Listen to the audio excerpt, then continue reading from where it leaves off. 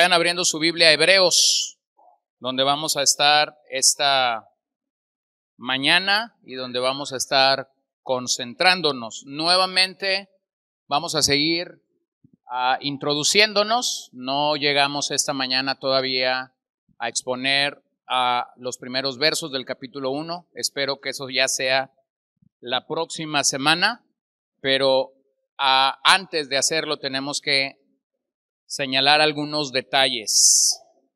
Bueno, el tema es una pregunta. ¿Oiremos la exhortación? Y es que mencionaba la semana pasada que Hebreos es tanto un tratado doctrinal como es uh, un sermón y como es una carta. Es decir, combina esto, estos tres aspectos.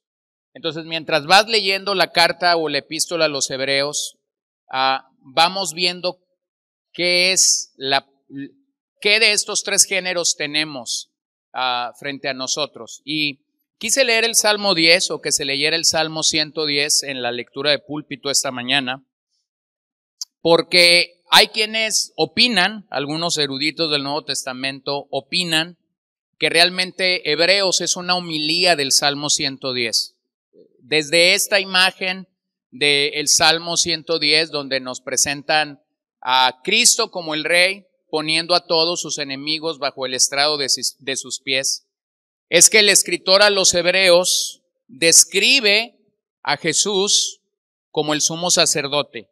Y, vamos a encontrarnos que el Salmo 110 es un salmo sumamente repetido en la epístola a los hebreos, citado una y otra vez.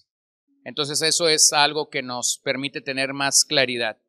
Bueno, espero que hayan intentado memorizar Hebreos 6, 19 al 20. Es, tiene un poquito de complejidad por algunas palabras.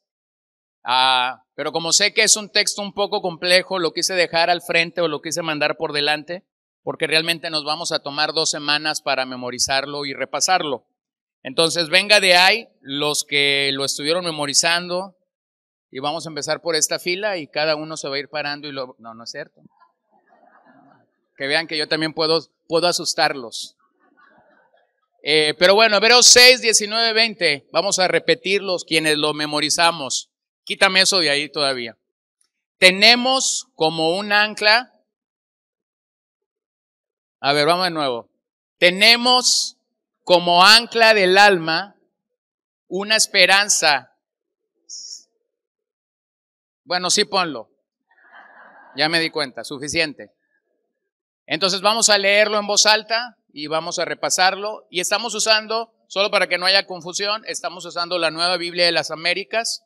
Esta es la versión en la que lo estamos aprendiendo para que cuando lo repitamos podamos repetirlos en la misma versión. Tenemos, léalo conmigo, tenemos como ancla del alma una esperanza segura y firme y que penetra hasta detrás del velo, a donde Jesús entró por nosotros como precursor, hecho según el orden de Melquisedec, sumo sacerdote para siempre. Bueno, eso es un pasaje glorioso en la epístola porque te recuerda que tienes un ancla en el alma. Te recuerda que esta esperanza que tenemos es segura y firme y que nuestro sumo sacerdote está ahí de acuerdo al orden de Melquisedec. Ojo, no dice de acuerdo al, al, al orden de Aarón, no dice de acuerdo al orden levítico, porque si usted recordará, nuestro Señor no viene a vida a través del linaje de la tribu de Leví, sino a través del linaje de Judá. Entonces, bueno, lo animo a que esta semana intente de nuevo memorizarlo, porque será la única semana de gracia que tendrá. Pero entonces le dará mucha seguridad poder tenerlo esta mañana. Bueno, hagamos tres preguntas para entrar en detalle. ¿Oirás la exhortación? ¿Oiremos la exhortación que la carta tiene que darnos, que la epístola tiene que darnos? Lo segundo que me pregunto es, ¿puede esta epístola hablarnos hoy? ¿Puede esta epístola hablarnos hoy? Y la tercera pregunta, ¿puede el contenido de esta carta dar nuevas fuerzas a nuestras manos cansadas y a nuestras rodillas debilitadas, citando lo que el autor dice en el capítulo 12. Bueno, yo espero que sí oigamos la exhortación, que cuando vengamos a esta epístola sí escuchemos las exhortaciones que hay aquí. ¿Puede esta epístola hablarnos hoy? La respuesta es sí, porque la palabra de Dios es viva y eficaz, como Hebreos 4:12 lo dice. ¿Puede el contenido de esta carta darnos nuevas fuerzas? Claro que sí. Aunque la carta tuvo una audiencia original, tuvo gente a la cual fue escrita ah, principalmente en el primer siglo, la carta tiene la capacidad de seguir hablándonos el día de hoy. Ya hemos mencionado que mayormente se cree que la audiencia de esta carta era judía. Eh, si el nombre es a los hebreos, entonces, mayormente la comunidad a la que se estaba escribiendo era una comunidad judía.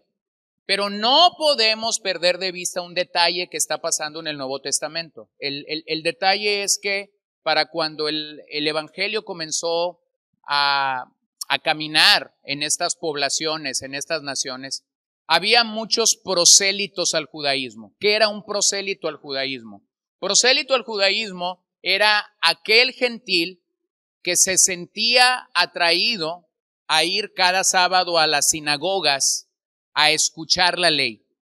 Entonces, entre los gentiles, entre los que no eran judíos por sangre, había personas que se aproximaban sábado tras sábado a escuchar la ley en, boca de los ah, maestros, en boca de los hombres que en cada ciudad levantaban una sinagoga, para entonces tratar de esa manera de acercarse al Señor. Bueno, muchos de esos prosélitos, cuando el Evangelio fue predicado, vinieron al Evangelio.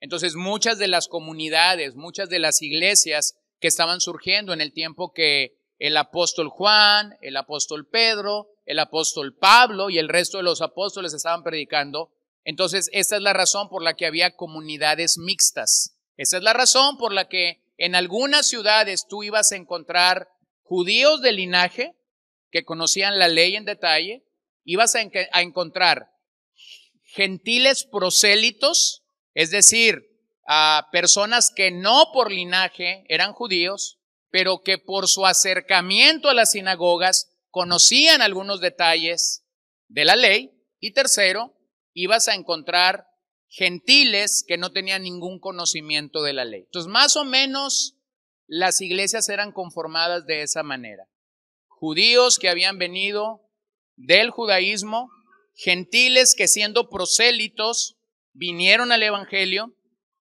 y gentiles que no tenían ni siquiera una idea de la ley, de quién era Moisés, de los sacrificios. Bueno, principalmente esta carta, por lo que vemos, se escribe a gente que conocía a la ley, que conocía de Moisés, por los detalles que hay aquí. Pero y por los temas que son tratados. Pero no podemos dejar a un lado que como en toda congregación, como en toda congregación, había gente que era salva y gente que no era salva. Eso no es ah, una particularidad de una iglesia local en lo específico. Esa es la realidad en, cualquier iglesia donde te paras. Vas a encontrar gente salva, vas a encontrar gente que más o menos son como los prosélitos, es decir, que han escuchado el Evangelio, se sienten atraídos, pero no tienen una decisión firme y clara por el Señor. Y vas a encontrar a personas que están viniendo a la iglesia, pero que no tienen una realidad de su salvación o de su vida eterna. Así que estos judíos, específicamente estos judíos que eran creyentes, estaban viéndose tentados a volver al judaísmo, como veíamos la semana pasada. El templo seguía de pie, los sacrificios seguían ofreciéndose en el templo de Jerusalén y eso los podía traer.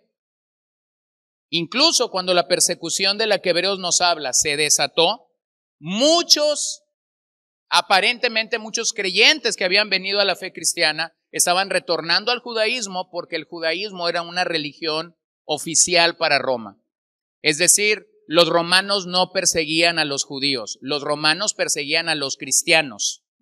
Así que algunos que no estaban completamente comprometidos en Cristo estaban viendo al judaísmo como la posibilidad de huir de esta persecución. Incluso vemos que el capítulo 13 a los hebreos, cuando habla de los pastores de esta grey, específicamente podemos, podemos más o menos figurarnos que algunos pastores que los hebreos ya habían tenido han muerto. Cuando el escritor dice, acordaos de vuestros pastores, la idea ahí es que esos pastores ya no estaban con ellos. Entonces algunos habían muerto, posiblemente algunos ya no les estaban ministrando de forma directa, pero la tentación todavía es mayor.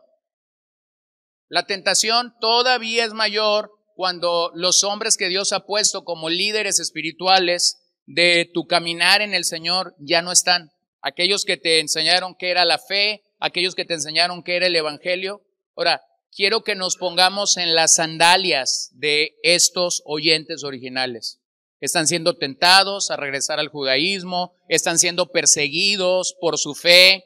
A sus pastores originales o quienes les llevaron a Cristo ya no están con ellos. Y vean, vean todo el cúmulo de emociones que pueden estar enfrentando. Entonces vamos a ir a sus bosquejos y síganme en sus bosquejos durante el mensaje. La teología de Hebreos no descansa en quienes eran los oyentes originales.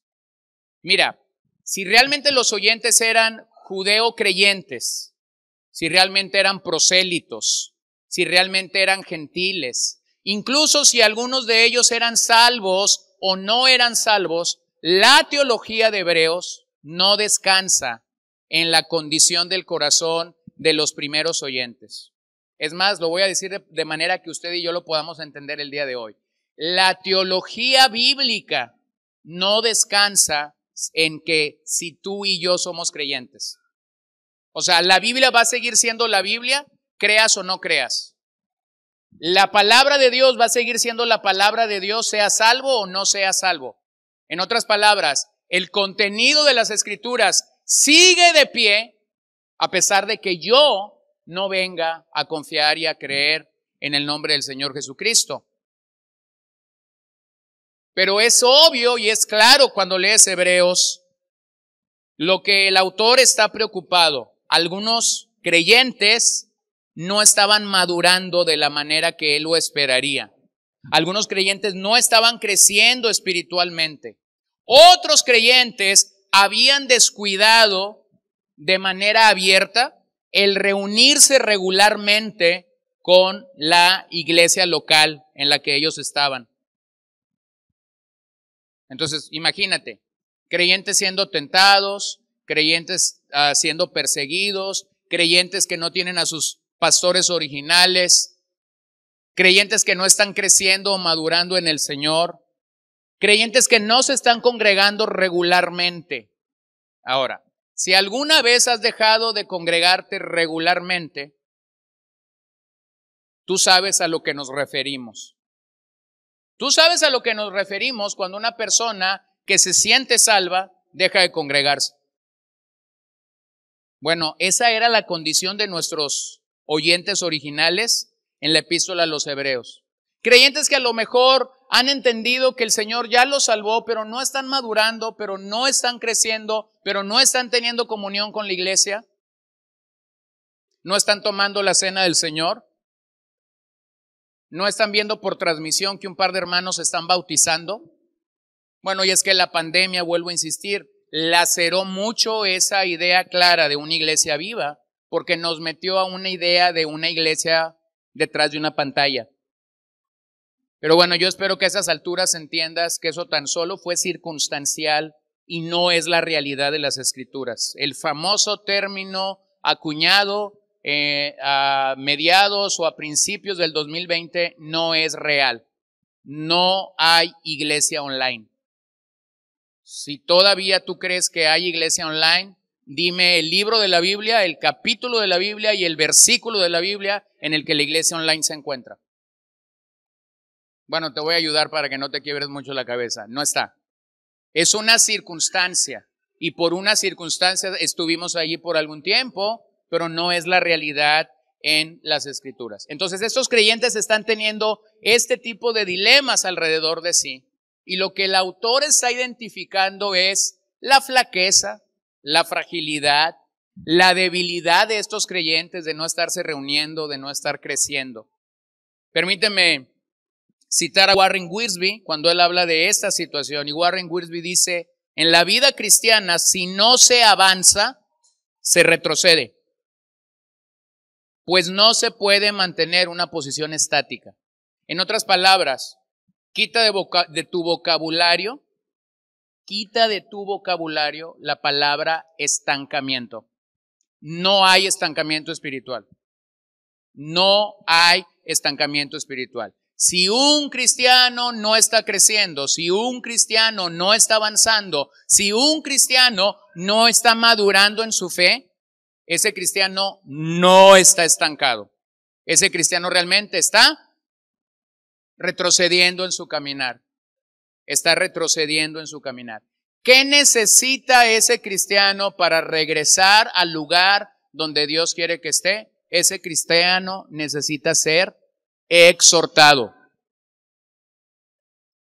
Un cristiano que está retrocediendo es un cristiano que necesita ser exhortado. Entonces, esa es la razón por la que decía que el, autor a los hebreos escribe en un tono pastoral esta epístola. Entonces, Hebreos tiene dos tipos de literatura. Hebreos realmente es una epístola expositiva y exhortativa.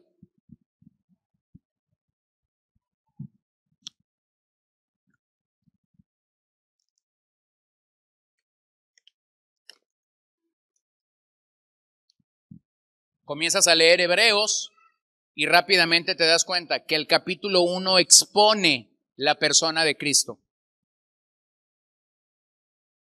El capítulo 1 nos dice que Dios está hablando en este tiempo y lo hace mayormente por medio de Jesucristo. E inmediatamente después te dice que Jesucristo es mayor que los ángeles. Y ángeles en el libro de Hebreos no solamente se refiere a figuras angelicales, porque después te lo explica quiénes son esos ángeles. Son mensajeros de Dios. Moisés fue un mensajero de Dios, la ley fue un mensajero de Dios, David fue un mensajero de Dios, Josué fue un mensajero de Dios, los profetas fueron mensajeros de Dios, los sacerdotes fueron mensajeros de Dios. Es decir, personas que comunicaban la palabra de Dios.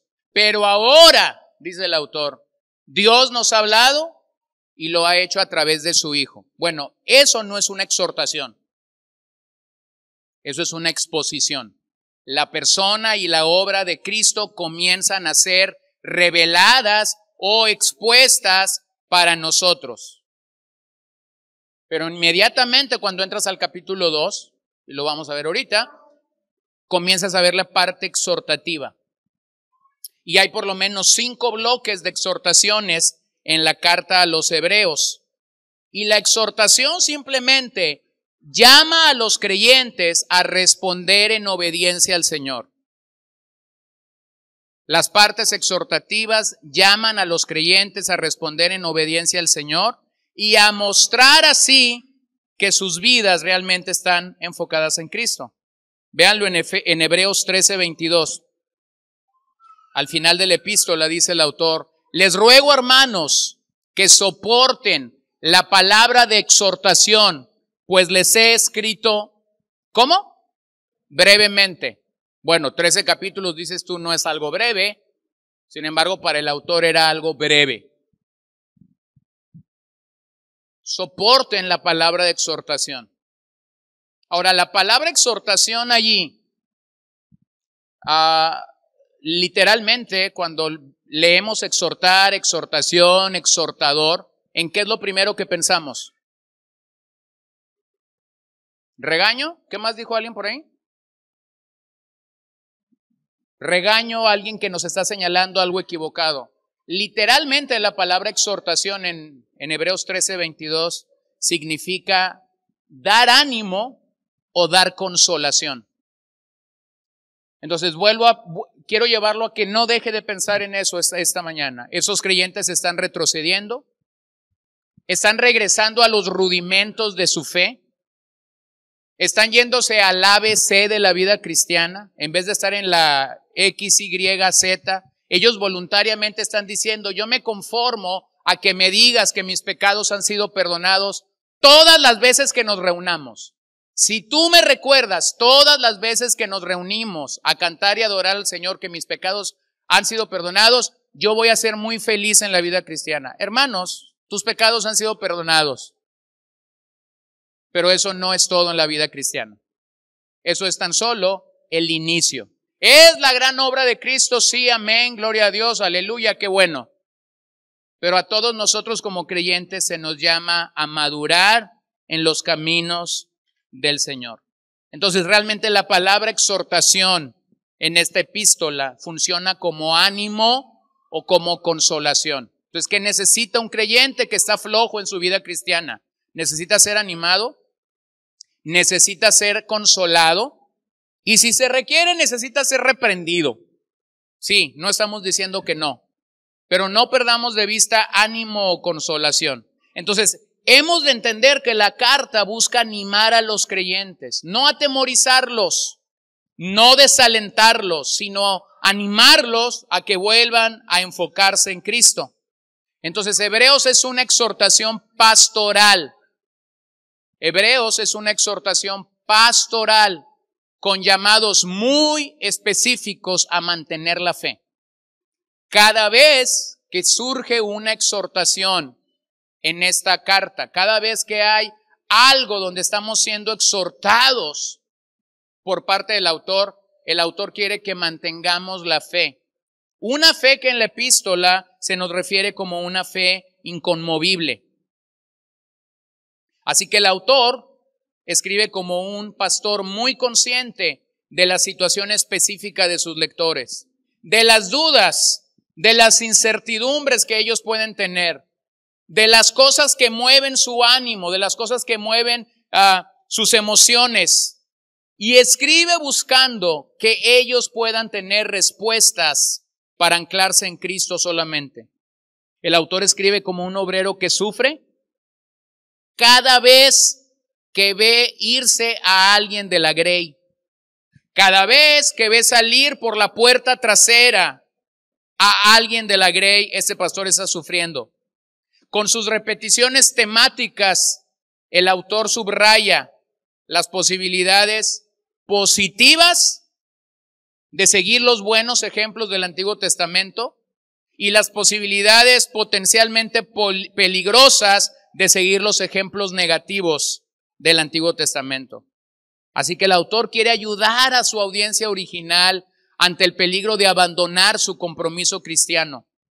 Por esa razón es que se nos envuelven partes expositivas y partes exhortativas en la carta. Usted va a darse cuenta de los movimientos de esta carta partes expositivas, partes exhortativas, partes expositivas, partes exhortativas, donde el autor a través de un dinamismo está motivando a que los hebreos puedan tener verdaderamente una relación con Cristo. Ahora sigamos preguntándonos, ¿te inquieta? ¿Te inquieta que alguien que ha escuchado la palabra de verdad de momento ya no esté entre nosotros? Bueno, permíteme decirte que miles de personas abandonan la iglesia alrededor del mundo. Algunos de ellos llegan a negar la fe paulatinamente. Entonces es lícito preguntarnos, ¿eran salvos?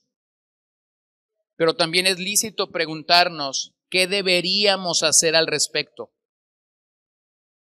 Bueno, aunque esta es una triste realidad en el día que el autor a los hebreos está escribiendo y sigue siendo una triste realidad en el día que tú y yo eh, vivimos, el autor llega a cinco exhortaciones en esta epístola. El autor quiere que realmente esta gente escuche a Dios y lo hace a través de poderosas advertencias. Son advertencias. Son exhortaciones. No es que esto está pasando ya. En el original, eh, en el idioma original que esto fue escrito, estas son advertencias, es decir, cosas que podían pasar, no que están pasando ya. El autor también incluye un tono de desafío Y el autor también incluye en cada advertencia ejemplos del Antiguo Testamento y recordatorios de la fidelidad de Dios a través de sus promesas. Entonces, estas exhortaciones buscan anclarnos en una relación clara con Cristo y una fiel obediencia a su palabra. ¿Por qué es que Hebreos nos exhorta? ¿Por qué es que tenemos este cinco, estos cinco grupos o bloques de advertencia en la carta? Bueno, porque el autor quiere que sus oyentes tengan una relación clara con Cristo y que sus oyentes obedezcan fielmente su palabra.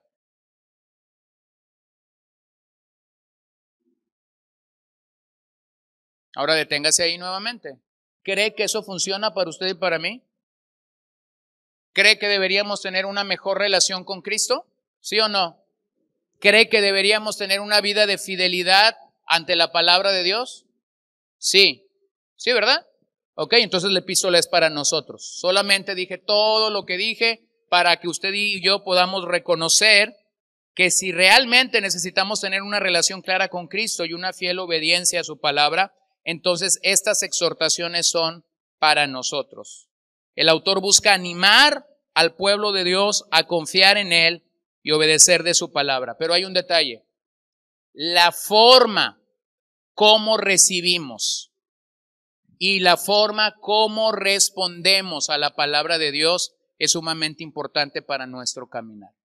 La forma como recibimos la palabra y la forma como respondemos a esa misma palabra es sumamente importante para nuestro caminar. Entonces vamos a revisar esas cinco advertencias, esas cinco advertencias que están allí delante de nosotros.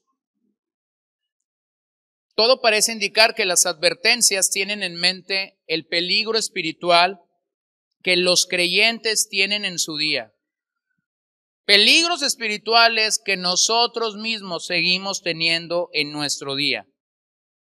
Una y otra vez el autor regresa a los mismos temas en cada exhortación. En cada exhortación el autor nos recuerda acerca de la caída, acerca del pecado, acerca del castigo, la promesa, la necesidad de escuchar el mensaje de las escrituras, la necesidad de escuchar la voz de Dios y la voz de su Hijo, la necesidad de tener fe, la perseverancia de los santos, la obediencia, entrar en la presencia de Dios y el uso de ejemplos. En cada advertencia el autor ilustra todo esto con ejemplos del Antiguo Testamento. Y estos temas se van entretejiendo con palabras de ánimo, con palabras de consuelo y con ejemplos vivenciales que nos permiten reconocer y entender cómo esto está funcionando. Ahora vean algo importante porque es, es, algo que nos sirve mucho. Cada vez que el autor da una advertencia, lo hace desde pasajes del Antiguo Testamento. Pero cuando cita esos pasajes del Antiguo Testamento, no solamente los cita, es decir, no solamente dice como en los días de Abraham, o como en los días de Noé, o como en los días cuando los sumos sacerdotes estaban ministrando. No. Cada vez que el autor cita estos ejemplos del Antiguo Testamento, se queda con ellos, los explica, cita toda la historia, nos da ese ejemplo, nos pinta estos, estas historias de manera tan real que llega a ver o llega a decirnos cómo sus oyentes se están entretejiendo con estas historias, mostrándonos su significado y asegurándonos que estamos comprendiendo estas citas.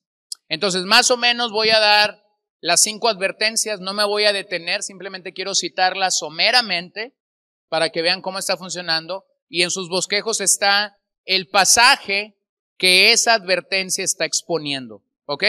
Entonces, advertencia número uno, desviarse al ignorar una salvación tan grande.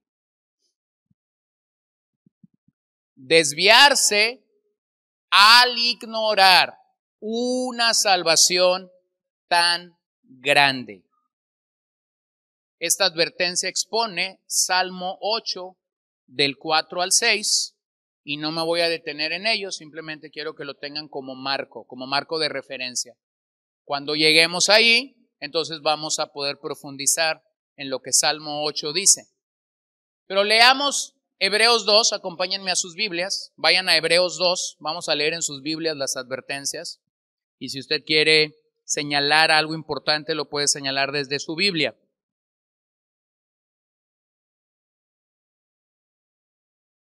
Ahora, hermanos, quise detenerme en estos pasajes porque todos estos pasajes que voy a citar ahora en estas cinco advertencias, si yo los leo sin el contexto, pareciera decirme algo que no dice.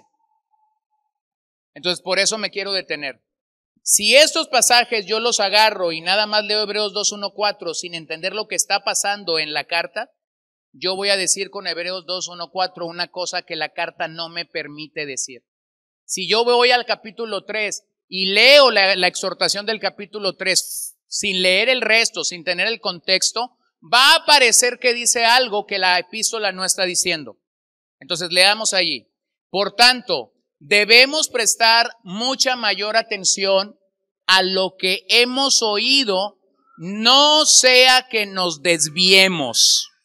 Porque si la palabra hablada por medio de ángeles resultó inmutable y toda transgresión y desobediencia recibió una justa retribución, pregunta, ¿cómo escaparemos nosotros si descuidamos una salvación tan grande, la cual después que fue anunciada primeramente por medio del Señor, nos fue confirmada por los que la oyeron? Dios testificó junto con ellos. ¿Quién testificó? Dios. Este es uno de los pocos pasajes donde se nos dice que Dios está testificando. Dios testificó junto con ellos, tanto por señales como por prodigios y por diversos milagros y por dones repartidos del Espíritu Santo según su propia voluntad, según su propia voluntad. Entonces, ¿cuál es la advertencia que hay para nosotros? No desviarnos, no desviarnos. O, como dice la versión 60, no deslizarnos, no desviarnos, no deslizarnos, no a descuidar una salvación tan grande. La razón por la que no debemos de desviarnos, mis queridos hermanos, y vean cómo voy a comenzar a ligar todo con la confesión que la carta a los hebreos nos hace de nuestro Señor Jesucristo. Él es nuestro sumo sacerdote, Él está sentado a la diestra de Dios Padre, Él está intercediendo por nosotros desde ese lugar, Él está gobernando con el poder de qué? Él está gobernando con el poder de su palabra. Él nos preserva, Él nos preservará y Él nos salvará de toda aflicción, dándonos gracia y dándonos misericordia. La razón por la que no debemos desviarnos es porque el Señor está controlando todo por el poder de su palabra. Esa es la razón por la que no debemos deslizarnos, por la que no debemos desviarnos. Él está gobernando todo por el poder de su palabra. Está gobernando tu enfermedad, está gobernando tu aflicción actual, está gobernando sobre la presión que ahora tienes. Nada de lo que a ti y a mí nos puede estar sucediendo el día de hoy se le escapó al Señor. No está fuera de su voluntad. Entonces, desviarnos o deslizarnos en el contexto de este pasaje habla de ignorar a Dios, ignorar a Dios y a su Hijo que está sentado a su diestra. Desviarnos o deslizarnos en el contexto de esta epístola es simple y sencillamente decirle al Señor, Señor, las cosas se te han salido de control. Ahora pregunto yo a ti, ¿pudiera un cristiano en algún momento sombrío oscuro, triste de su vida, decirle esto a Dios? Dios, las cosas se te salieron de control. ¿Pudiera un cristiano llegar allí?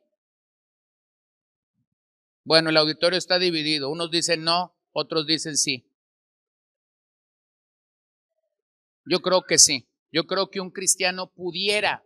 No está renegando de Dios, no está negando a Dios, simplemente la situación en la que se encuentra lo está nublando. Para muestra un botón, vaya al libro más largo de la vida, de la Biblia, 150 salmos, donde muchos de esos salmistas comienzan, afligido estoy, Señor, mi alma está triste, mi alma está batida, y en algún momento ah, sufren este, sufren este efecto poderoso del sopapo, y entonces ellos dicen, ah, Señor, eres glorioso, eres grandioso.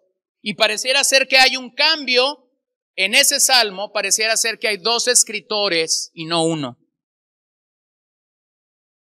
Bueno, vuelvo a decirlo, son advertencias. No es que esto, en, el original, está, en, en el griego, esta palabra es tan fuerte. No es que esto está pasando con los hebreos, es que el autor se está adelantando. El otro día íbamos, íbamos mi hija y yo en el carro y me dice, papá, ¿por qué hay tantos topes en esta casa, en esta, en esta calle?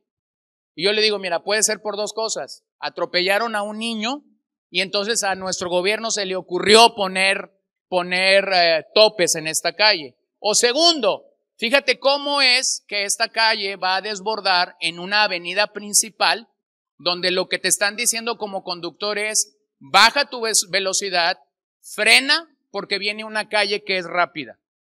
Bueno, así funcionan las advertencias en Hebreos. No es que están pasando ya, es que el autor está anticipándose para decirle a sus oyentes, cuidado, ten calma, ten paz. Miren cómo lo dice en Hebreos 2.13. Otra vez, yo en él confiaré. Y otra vez, aquí estoy, yo y los hijos que Dios me ha dado. Viene de nuevo, dice el autor, otra vez, yo en él confiaré. Y otra vez, aquí estoy, yo y los hijos que Dios me ha dado. Miren hermanos, al saber dónde está nuestro Señor, no deberíamos estar en confusión, no deberíamos estar en conflicto, pero puede pasar. Puede pasar. Y cuando eso pasa, entonces lo que el autor te está diciendo es, exhorta a tu hermano, anima a tu hermano, consuela a tu hermano, recuérdale quién es Jesucristo, recuérdale dónde está sentado, recuérdale que Él está reinando ya por el poder de su palabra.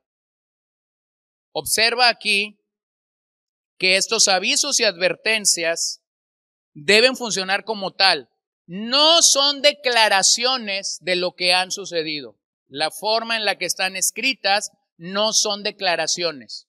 No es como yo declarar eh, los cañeros quedaron en tercer lugar en la serie del Caribe. Eso es una declaración. Es algo que pasó. ¿Sí?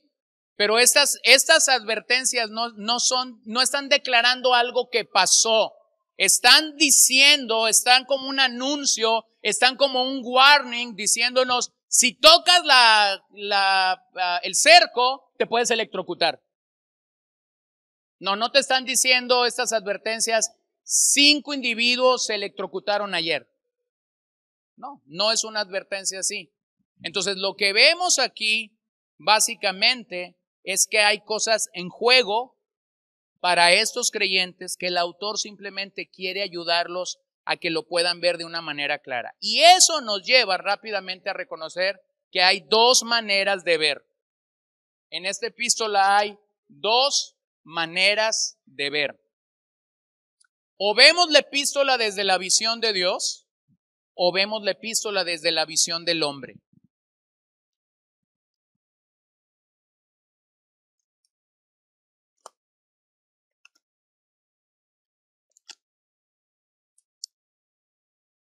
¿Cuál es la visión de Dios en esta epístola? ¿Cuál es la visión de Dios en esta epístola? La visión de Dios en esta epístola es la siguiente. Mi hijo es el sumo sacerdote. Mi hijo está poniendo a sus enemigos por estrado de sus pies. Mi hijo está gobernando con el poder de su palabra todas las cosas y todos los eventos. Y él está dando gracia y misericordia a todos sus hijos. Mi hijo está obrando aún en medio del dolor. Aunque el ser humano a veces no puede entender esto. El ser humano, ah, para el ser humano es difícil entender cómo Dios me está procesando a través de tanto dolor para obtener algo bueno. Es cierto, ¿no? Bueno, está la visión del hombre. Y la visión del hombre más o menos te dice lo siguiente, Dios no está gobernando, el diablo es muy grande, el pecado es muy grande, mi pecado es muy grande, el pecado de los que viven conmigo es muy grande. Quisiera que el Señor gobernara, pero Él no está gobernando. A Dios se le han salido las, las cosas de control, Él ya no es rey. Quisiera que lo que dice la Biblia fuera una realidad. Bueno, si esa es tu condición, entonces tu visión es una visión humana, no es una, no es una visión divina o de Dios. Entonces hay dos maneras de acercarte a esta carta. O tienes la visión que Dios mismo te da en la carta o tienes la visión que tú quieres tener. Solo que si tienes la visión humana, entonces déjame decirte quién es tu Dios. Tu Dios no está sentado en el trono. Tu Dios no está intercediendo por ti. Tu Dios es el humanismo. Tu Dios eres tú mismo. Porque tú crees que eres el arquitecto de tu propio destino. Entonces déjame decirte lo siguiente, tienes un Dios demasiado pequeño. Tienes un Dios que no sirve absolutamente para nada a la luz de las escrituras. Tienes un Dios que se quiebra, tienes un Dios que se derrumba, tienes un Dios que es increíblemente pobre y tienes un Dios que no te puede prometer absolutamente nada en la eternidad. Pero el Dios de Hebreos, el sumo sacerdote de esta epístola, es todo lo contrario a lo que ya he dicho. Advertencia número dos. Una advertencia acerca de endurecer el corazón y no alcanzar el descanso prometido. Esta es una advertencia a creyentes acerca de endurecer el corazón y no alcanzar el descanso prometido. Y expone lo que Salmo 95, 7 al 11 declara. Aunque tiene su contexto en los días de Moisés, y también vamos a ver eso cuando lleguemos ahí. Leamos la exhortación. Léalo en su Biblia en Hebreos 3, del 7 al 14. Por lo cual, como dice el Espíritu Santo, si ustedes oyen hoy su voz, no endurezcan sus corazones como en la provocación, como en el día de la prueba en el desierto, donde sus padres me tentaron y me pusieron a prueba y vieron mis, y vieron mis obras por cuarenta años, por lo cual yo me disgusté con aquella generación y dije, siempre se desvían en su corazón y no han conocido mis caminos. Como juré en mi ira, no entrarán en mi reposo. Tengan cuidado, hermanos. Tengan cuidado, hermanos. Hermanos. O sea, está escribiendo esta parte a creyentes, no está escribiendo esta parte a prosélitos. Tengan cuidado, hermanos, no sea que en alguno de ustedes haya un corazón malo de incredulidad para apartarse del Dios vivo. Antes, ¿qué debemos hacer? Antes exhórtense los unos a los otros cada día, mientras todavía se dice hoy, no sea que alguno de ustedes sea endurecido por el engaño del pecado, porque somos hechos partícipes de Cristo si es que retenemos firmes hasta el fin el principio de nuestra seguridad. Ojo, los lectores están siendo amonestados a no apartarse del Dios vivo. Son llamados a cuidarse de la dureza de corazón y si usted sigue las, si usted sigue los ejemplos que ahí se nos da desde el capítulo 3, 7 hasta el 4, 13. Si usted sigue esos ejemplos, usted encontrará que hay llamados a cuidarnos de la dureza del corazón, de la rebeldía, de la desobediencia, de la incredulidad y de la falta del amor. Y todo lo hace con ejemplos vivenciales del Antiguo Testamento. Observemos que el pueblo de Dios en el desierto, el pueblo de Dios en el desierto no pudo huir de la disciplina de Dios. El pueblo de Dios en el desierto no pudo huir de la disciplina de Dios.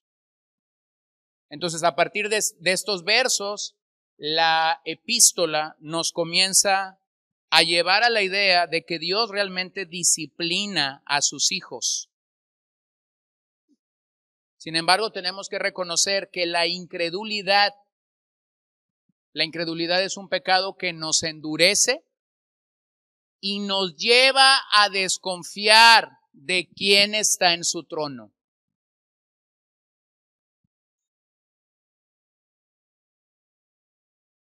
La incredulidad te endurece y te lleva a desconfiar completamente de que Jesucristo está en su trono intercediendo y gobernando por el poder de su palabra. Así que no entrar en el reposo de Dios aquí es realmente no creer en Jesucristo. Esto es, esto es ilustrado en los días de Moisés, cuando se descuidó la palabra de Dios. Entonces, un corazón incrédulo para un creyente es un corazón que deja de ver el gobierno de Dios en la actualidad. Es un corazón que está eh, con la idea de que al Señor se le salieron las cosas de control y que un día el Señor va a llegar y va a arreglar todo al final del mundo. Pero no, tu confianza, tu fe no está en el Señor el día de hoy. Eso es incredulidad aquí. Ese tipo de incredulidad te lleva a nunca estar en el reposo de Dios. Las inquietudes de la vida, los desasosiegos de la vida, los altos y bajos de la vida te van a golpear y cada vez que te golpeen vas a estar en la lona. Y vas a estar en la lona simple y sencillamente porque tu confesión acerca de quién es Jesucristo no está en el lugar donde deben estar. Y cada vez entonces que tú creas que Dios no es rey, que Dios, que el Hijo no está intercediendo por ti, que el Hijo no está gobernando por el poder de tu palabra, tu corazón se va a ir endureciendo poco a poco. ¿Por qué yo debería de obedecer la palabra de Dios? ¿Por qué yo debería de sujetarme? ¿Por qué yo debería de exhortar a otros? ¿Por qué yo debería de congregarme? y comenzamos a racionalizar todas aquellas cosas que la escritura nos manda a hacer. Advertencia número tres. Desoír o no oír la palabra de Dios, crucificando de nuevo al Hijo. Y esta porción de la epístola expone el Salmo 110.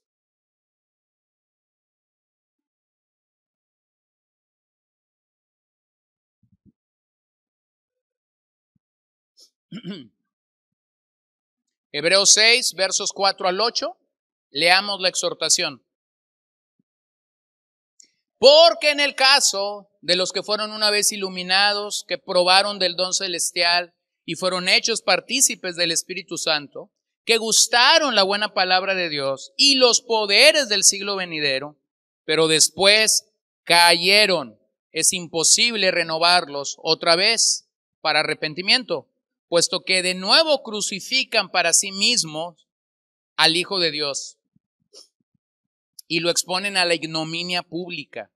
Porque la tierra que bebe la lluvia que con frecuencia cae sobre ella y produce vegetación útil a aquellos por los cuales es cultivada, recibe bendición de Dios. Pero si produce espinos y cardos, no vale nada. Está próxima a ser maldecida y termina por ser quemada. Antes de que el autor llegue a hacer esta declaración, él está hablando al final del capítulo 5 y a principios del capítulo 6, él está hablando de la importancia de no colocar otro fundamento. Él está diciendo que ya los fundamentos han sido colocados y que no deberíamos agregar nada más, sino simplemente seguir adelante hacia la perfección. Así que el creyente real de Jesucristo siempre irá hacia adelante. El que no creyó en Jesucristo genuinamente no deseará avanzar en su vida cristiana. Entonces, el mensaje claro de esta advertencia es no te alejes de Jesús. No te alejes de Jesús. Ese es el mensaje claro que hay en esta advertencia. Vuelvo a decir, hermanos, que cada una de estas advertencias, leídas sin contexto, dicen algo que no dice en el contexto de la carta. En la estructura del pasaje, el autor no sugiere que otros ya se han alejado. En el sentido de la carta, esto es una amonestación para que no se alejen y en el contexto es claro. Usted puede leer Hebreos 6, 9 al 12 y se va a dar cuenta de cuál es la conclusión del autor. No se alejarán. Va a lo nuevo. Es una advertencia, no es una declaración, pero observe la fuerza del autor del verso 9 al 12 para decir que estos creyentes que están oyendo la advertencia no se van a apartar. El pecado se describe en este pasaje como una recaída. El alejamiento se relaciona con volver a crucificar a Jesús y tratar con desprecio a Jesús. Ahora deténgase ahí. La semana pasada leíamos tres citas que hablaba del sacrificio de Jesús y cada vez que Hebreos usa esas citas acerca de la cruz o de la crucifixión dice que Él fue crucificado una sola vez y para cuándo? Y para siempre. Entonces, vean en el contexto. En el contexto de la carta, llanamente, crucificar a Jesús y tratarlo con desprecio no es el trato de un amigo de Jesús. Crucificar a Jesús y tratar con desprecio la obra de Jesús no es el trato que un creyente genuino daría de Jesús. Sencillo. El ejemplo es muy claro en el Nuevo Testamento. Fue el trato que Judas dio. Un trato con desprecio, un trato, un trato en desamor, un trato en la miseria de un corazón no arrepentido, en la miseria de un corazón no regenerado, que vio los milagros más gloriosos, que escuchó al mejor predicador, al mejor maestro de todas las edades, y simplemente él un día será responsable delante del Señor por no venir en arrepentimiento delante del maestro. Bueno, esta sería la acción de enemigos del Señor y no de sus amigos. Entonces vean aquí cómo Hebreos, de alguna manera, como ya lo dije, está pensando en un grupo determinado, en una congregación específica, que como ya dijimos, no sabemos la ciudad donde se congrega, pero en esa comunidad específica hay creyentes genuinos y como en toda congregación, hay gente que solamente viene a la iglesia pero no es salva. Entonces, ¿quién estaría dispuesto a volver a crucificar a Jesús? ¿Quién estaría dispuesto a tratar con desprecio la obra de Jesús? No un cristiano genuino, sino uno que simple y sencillamente no valora lo que el Hijo de Dios hizo en el Calvario. Un cristiano genuino es aquel que está librando una batalla con sus temores, con sus pecados, pero en todo momento está pidiéndole al Señor misericordia y gracia para seguir adelante. Advertencia número cuatro, despreciar la palabra pisoteando al Hijo de Dios.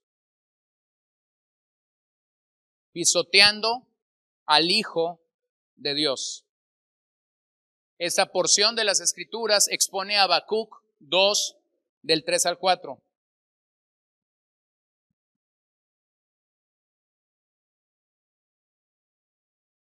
Hebreos 10:26, porque si continuamos pecando deliberadamente, después de haber recibido el conocimiento de la verdad, ya no queda sacrificio alguno por los pecados. ¿Por qué ya no queda sacrificio alguno por los pecados?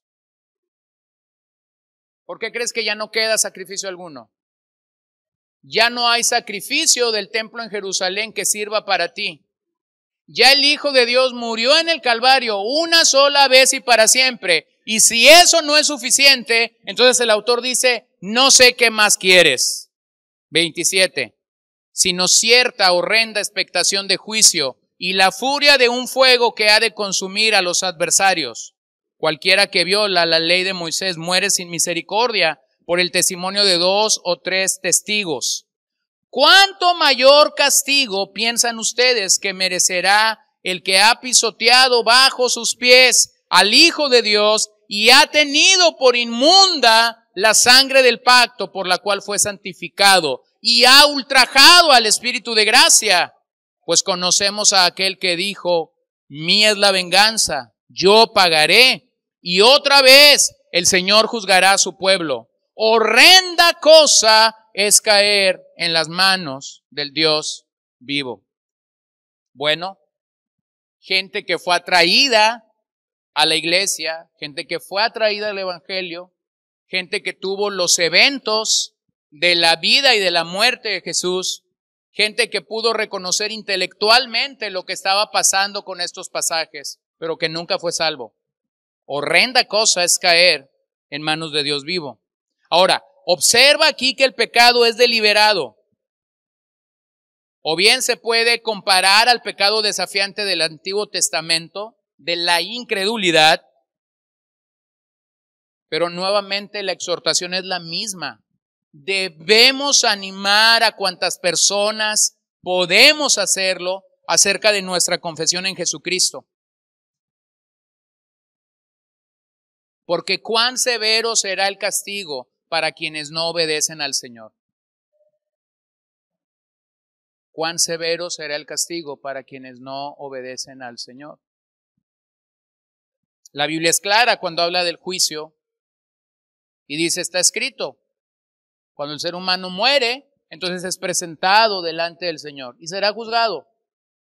Bueno, ese es un juicio personal, pero si vamos al final de los días, todos seremos juzgados, unos para vida eterna y otros para condenación eterna. Esa expresión, condenación eterna, no nos gusta pensar en ella. Nos gusta pensar en que tú y yo vamos a estar en la vida eterna, pero no nos gusta pensar que este Dios de amor, de gracia y de misericordia también es el Dios que en su ira juzgará al pecador castigo eterno, infierno, el lago de fuego. Eso que no es atractivo en nuestros días. Pero pensemos en eso que no es atractivo en nuestros días claramente. Hay varias posiciones en, la, en el escenario escatológico, hay varias posiciones de lo que pasa con el pecador cuando muere. Una posición es el universalismo. Y el, el universalismo lo que dice es, cada vez que alguien muere, el Señor tiene misericordia de él y lo llevará al paraíso. Eso no es verdad. Eso no es bíblico. Eso no es real al lado de las escrituras. Posición universal derribada a la luz de las escrituras. Segunda posición, aniquilacionismo. Los aniquilacionistas dicen que simplemente cuando una persona muere, muere y ahí se acaba todo. Y tú dices, me gusta esa posición porque no hay broncas con nadie. Bueno, tampoco es una posición bíblica. La posición bíblica habla de castigo eterno. Es decir, Dios juzgando a los impíos, Dios juzgando, juzgando a los pecadores y retribuyéndole por sus obras, retribuyéndoles por sus obras lo que ellos hicieron alejados voluntariamente del Señor. Para ellos, hermanos, hay castigo eterno. Y eso en nuestra mente romántica, evangélicamente romántica, a veces no nos cabe muy en la cabeza. Pero es una realidad bíblica. Tan es una realidad bíblica que el predicador que más habló del infierno no fue Pablo, no fue Juan, no fue Esteban. ¿Quién fue? Jesús. Si algo, si alguien predicó acerca del infierno, fue Jesús. Entonces no nos debería de asustar. Todo lo contrario, eso nos debería animar. ¿Quieres que tus parientes sean castigados eternamente o quieres que tus parientes pasen la eternidad con el Señor? Bueno, evangelízalos. Háblales de Cristo, porque esa es la realidad final. Somos salvos por fe, ¿cierto? ¿Sí o no? Somos salvos por fe, pero vamos a ser juzgados por nuestras obras. Va de nuevo. Posiblemente ese es el tibón steak de esta mañana. Somos salvos por fe, pero un día vamos a estar delante del trono y vamos a ser juzgados por obras, por todo lo que hicimos. Bueno, esa es la misma condición en la que los pecadores van a ser juzgados. Van a ser juzgados por sus obras, obras que no tienen la gracia de Dios, obras que no tienen la misericordia de Dios, obras en donde abiertamente ellos fueron responsables de no querer venir al Señor. No hay un solo pecador que pueda estar delante del Señor en su trono y diga, nunca me evangelizaron. Ni uno solo va a poder decir eso. Porque Romanos 1 es claro que cuando no hay ley, la creación te está gritando acerca de tu creador.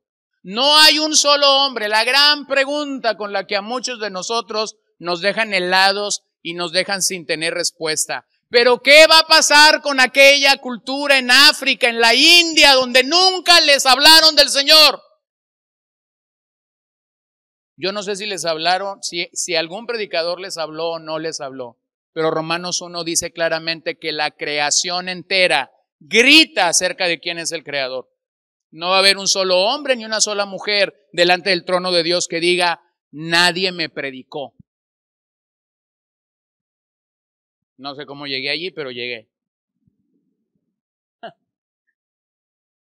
Entonces debemos animarnos en nuestra confesión con Jesucristo, porque el castigo será severo de parte del Señor. Pecar voluntariamente en este pasaje es permanecer en la incredulidad. Esto es pecar deliberadamente o voluntariamente. Permanecer en la incredulidad de que Cristo no está reinando, de que Cristo no está gobernando. Entonces el resultado de esto es, si tú no crees en Cristo y si tú no crees en la palabra, vas a ser condenado. Jesús mismo lo dice. Yo no juzgo a nadie. Mi palabra, la palabra que yo ya les declaré, ella les juzgará. No creer en Cristo y a su palabra, entonces nos lleva a la condenación. Ahora, vayan observando algo en la carta, vamos cerrando las advertencias. Para los hijos de Dios hay disciplina y para los incrédulos hay condenación eterna. ¿Qué pasa cuando un hijo de Dios se desliza, se desvía? en el contenido de Hebreos, ese hijo va a ser disciplinado. Ese hijo va a ser disciplinado. ¿Qué pasa cuando un incrédulo deliberadamente confiesa que el Señor no está reinado? Ese incrédulo va a ser condenado. Hermanos, para él no hay disciplina.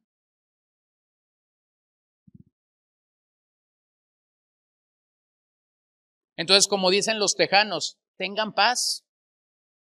Tengan paz. Tengan paz.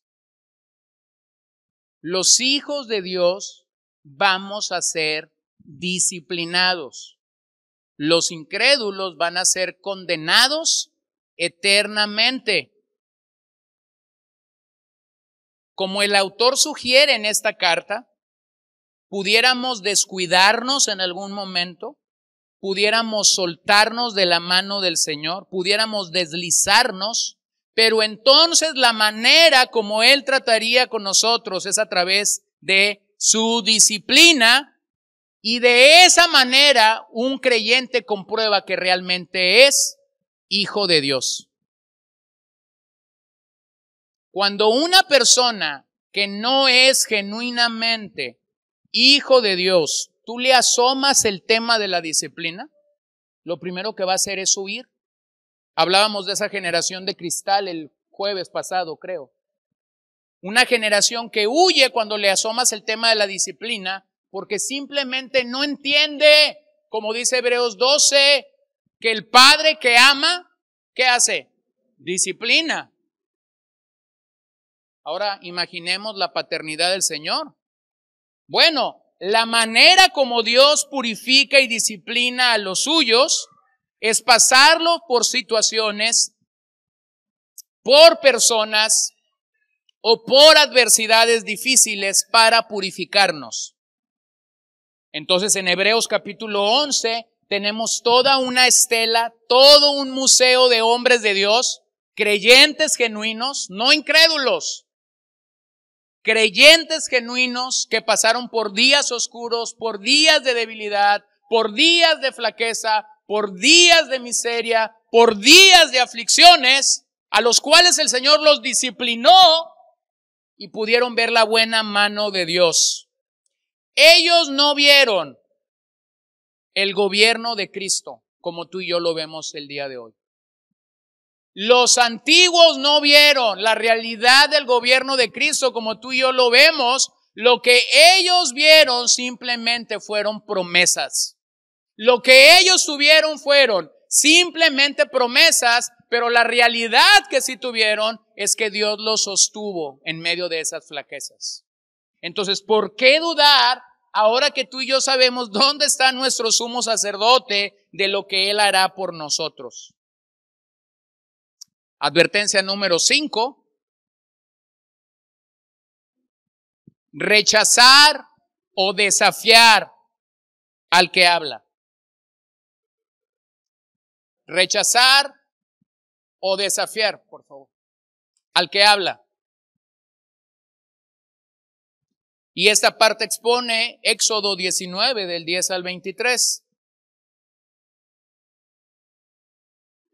Vean cómo es que el pecado que está asediando a los hebreos en cada advertencia, aunque hay, unas, hay un señalamiento de pecados, pero el pecado que está asediando a los hebreos una y otra vez es la incredulidad.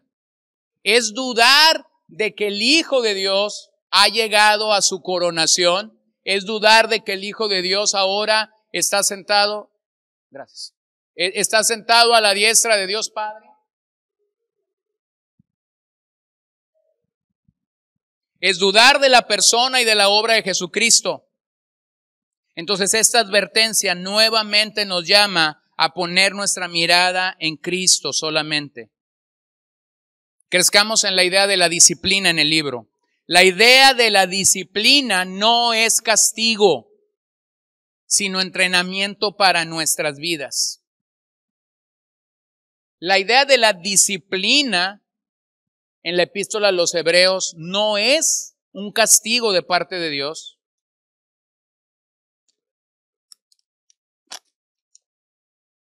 sino es realmente que Él nos está entrenando para nuestras vidas. Dios está interesado y Dios quiere que tú y yo sostengamos nuestra confesión acerca de quién es Jesucristo, a pesar de cómo nos puede ir en nuestro peregrinaje espiritual. ¿Cómo lo logra Dios? ¿Cómo logra Dios esa disciplina en nosotros?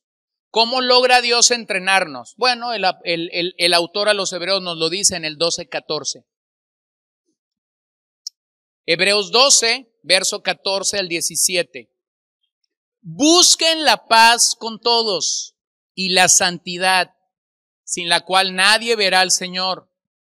Cuídense de que nadie deje de alcanzar la gracia de Dios, de que ninguna raíz de amargura brotando cause dificultades y por ella muchos sean contaminados, que no haya ninguna persona inmoral ni profana como Esaú, que vendió su primogenitura por una comida, porque saben que aún después cuando quiso heredar la bendición, fue rechazado, pues no halló ocasión para el arrepentimiento, aunque la buscó con lágrimas.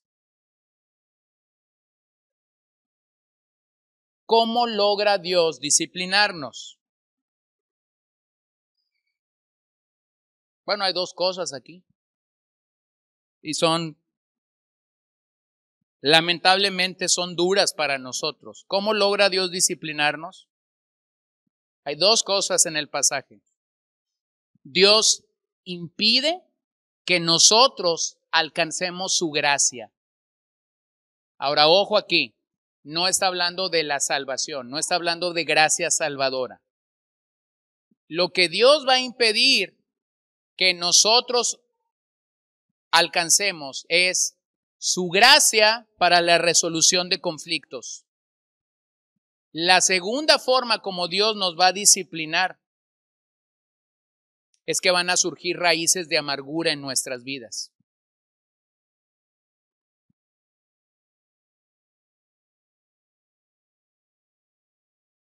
¿Por qué crees que pasan estas dos cosas? ¿Por qué crees que un creyente que está leyendo Hebreos, que está recibiendo el mensaje de Hebreos, va a llegar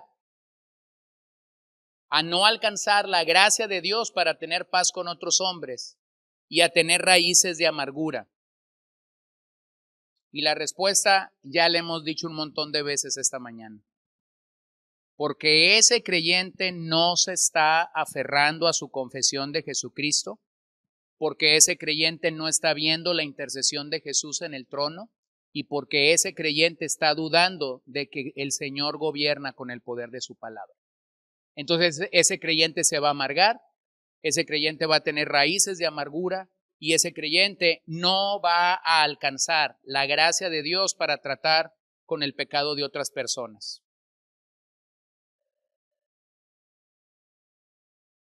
¿Cómo te enteras de que posiblemente estás ahí? Dos cosas. Culpas a otros de tu condición actual. Culpas a otros por tu amargura, culpas a otros por ah, que no puedes tener paz. Tienes una vida en la cual te presentas como la víctima y no como el autor intelectual. Y la segunda forma, como te das cuenta de que eso está ahí, es que le das el derecho a otras personas de agitar tu propio vaso. Si yo hago esto y después yo abriera este vaso y, el contenido de este vaso tiene gas, ¿qué va a pasar? Se va a derramar, va a explotar, va, te vas a manchar, bueno, cuando una persona está amargada, le está entregando su propio vaso a otra gente para qué? Para que haga esto, ¿verdad? Y entonces cuando tú abras ese vaso, tú vas a decir como algo como esto. Ella es responsable del pecado que está saliendo. Bueno, a nivel psicológico se, escucha muy bien, pero no es así. Si mi pecado es ira, y alguien viene y me revuelve así el vaso que yo tengo y entonces yo estallo en ira. ¿Quién es el culpable? ¿El que hizo así mi vaso o yo? Dígamelo pues, está bien facilito el ejemplo. Si tú eres iracundo y alguien vino y te revolvió, el culpable no es el que te revolvió, el culpable eres tú de tu ira. Si tú eres orgulloso y tu orgullo está saliendo de tu vaso, el culpable no es el que te revolvió, tu orgullo está haciendo que hagas eso. Si, si tú eres nefasto, si tú eres hipócrita, chismoso, intrigoso, comelón.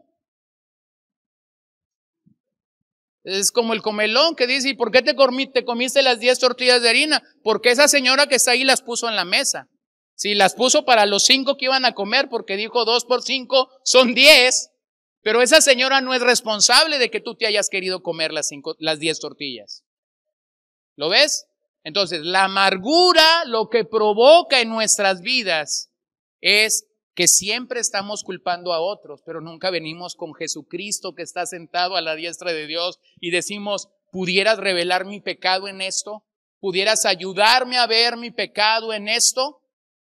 Entonces la amargura en la carta a los hebreos es el resultado de no recibir la gracia de Dios para ese momento y todo es porque no estoy anclado en mi confesión acerca de Cristo. Sin la gracia de Dios no puedes alcanzar paz con tus hermanos. Y esa es la razón por la que muchos huyen y otros divulgan su amargura en vez de enfrentar su situación. Así que a la luz de estos pasajes, si no confesamos nuestros pecados, el resultado es amargura. Si no confesamos nuestros pecados, el resultado es amargura.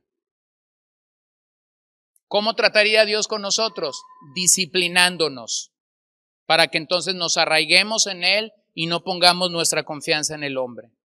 De lo contrario, si no confesamos nuestros pecados, nos negará la gracia para tener paz con otros y nos negará la gracia para poder conquistar sobre la amargura.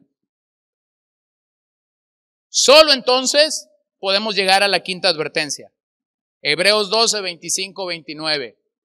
Sígame allí en sus Biblias. Le prometo que ya terminé. Tengan cuidado de no rechazar a aquel que habla.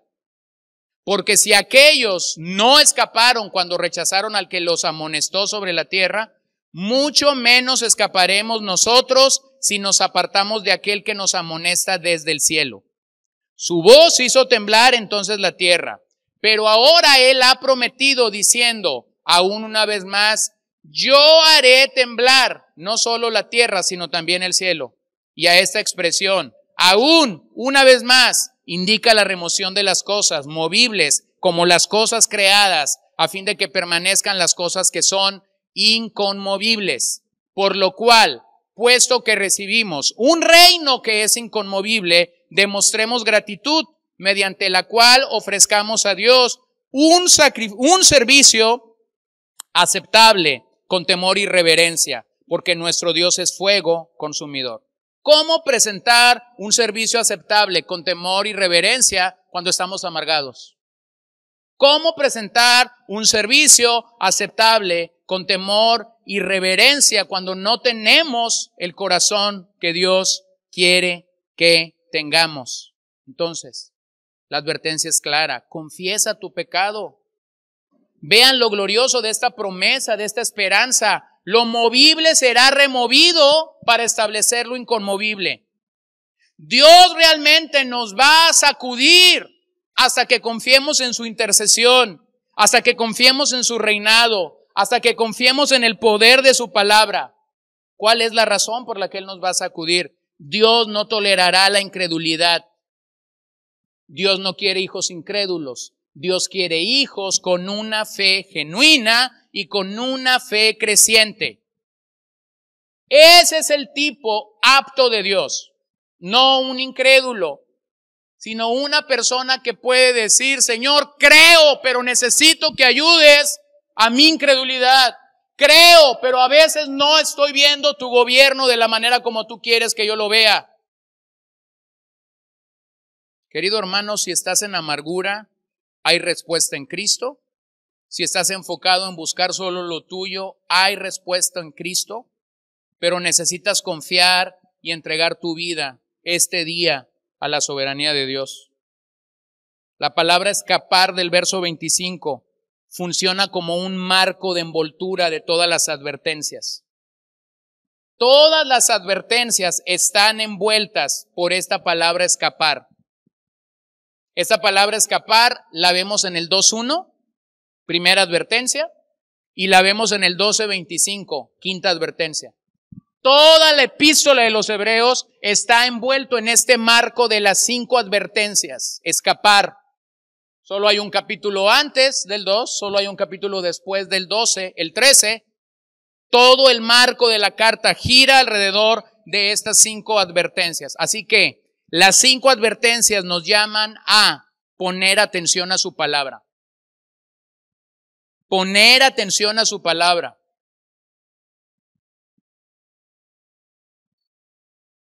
Qué difícil es mantener nuestra atención solo en la palabra de Dios con el paso de los años. Qué difícil es.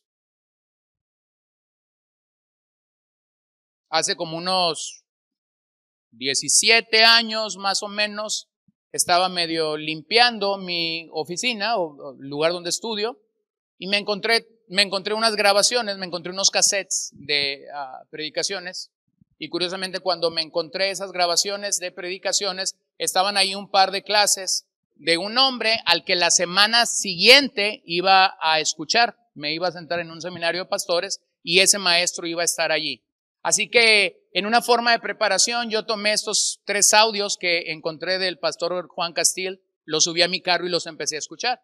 Cuando él llegó a su conclusión, después de estar enseñando tres horas, su conclusión fue esta, vuelvan a la palabra, vuelvan a la palabra, vuelvan a escuchar la palabra, vuelvan a leer la palabra, vuelvan a predicar la palabra. Bueno, los había dicho 17, ah, perdón, los había dicho como 25 años atrás de la semana en el que la iba, lo iba a escuchar.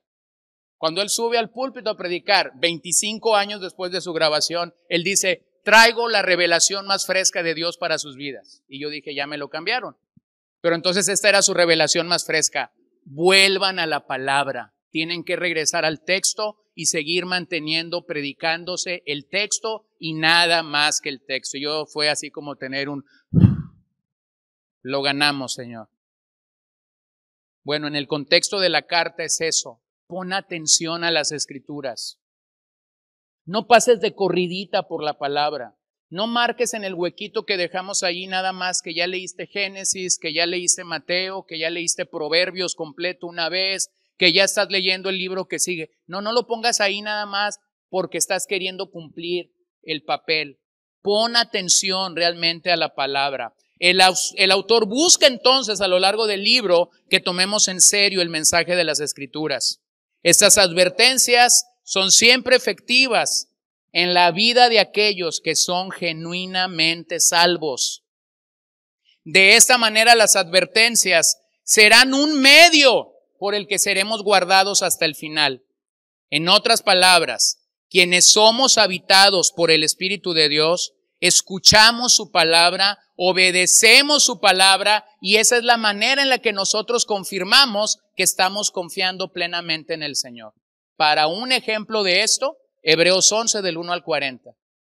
Humanos que se vieron en la fragilidad de desobedecer a Dios, que se vieron en la disyuntiva entre obedecer y no obedecer a Dios y que mantuvieron su fidelidad al Señor, pistis, su fidelidad al Señor, una vida fiel al Señor. Eso es lo que en el contexto de Hebreos 11.1 o en, en el contexto de Hebreos 11 la fe significa fidelidad al Señor. Pero también estas advertencias son prospectivas y no retrospectivas. Es decir, el autor no está declarando que estos lectores se han alejado.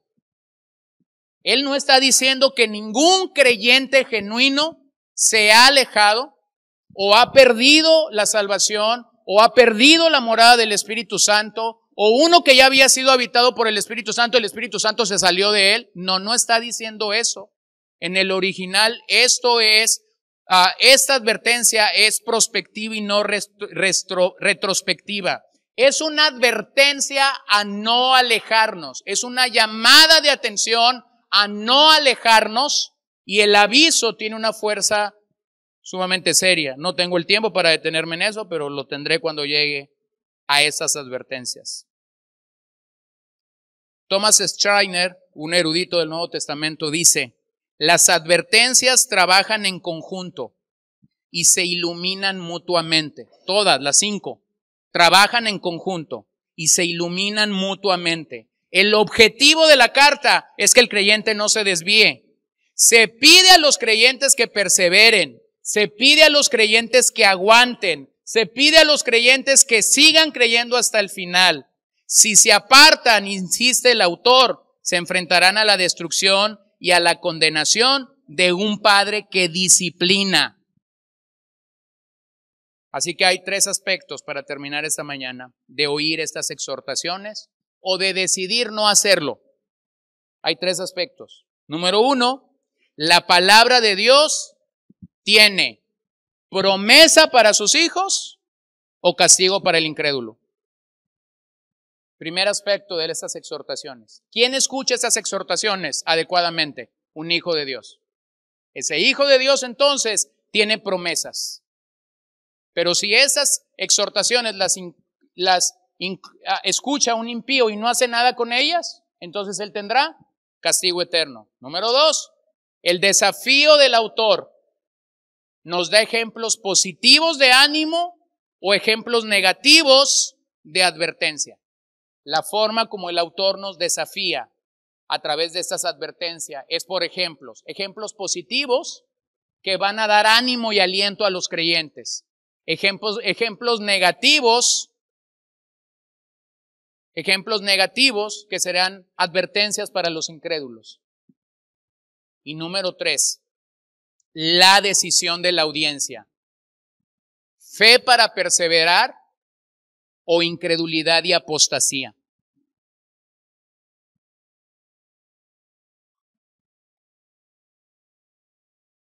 Entonces, ¿oirás la exhortación? ¿Vas a escuchar la palabra de Dios? ¿Vas a obtener la visión de Dios o vas a permanecer en la tuya? Bueno, aquí está el, el punto final. Si tú eres un creyente, confía en nuestra confesión acerca de Jesucristo. Si tú eres un impío, una vez más esta mañana, ven al Señor Jesús, ven al Señor Jesús, ven en fe, ven en arrepentimiento.